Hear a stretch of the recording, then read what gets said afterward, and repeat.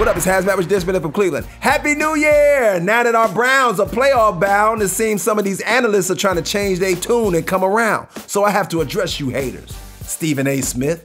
Because when Deshaun Watson went down, you said the Brown season is over. The Brown season is over. Now he got us on his Stephen A's list as the third best team in the NFL. Nah, bruh, keep that same energy. Don't try to get on the bandwagon now.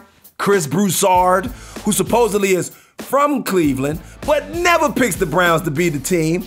Now you on TV talk about my Browns. Nah, bruh, your dog pound pass been revoked. And Adam Rank, who had the idiotic prediction that we go 6 and 11.